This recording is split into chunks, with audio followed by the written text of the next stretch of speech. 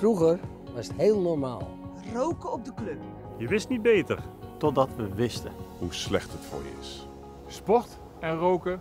Dat gaat niet samen. Daarom wordt de sport rookvrij. En dat is goed. Want zo beschermen we onze nieuwe generatie sporters. Sport wordt rookvrij! Wennen me aan! Samen op weg naar rookvrije sport.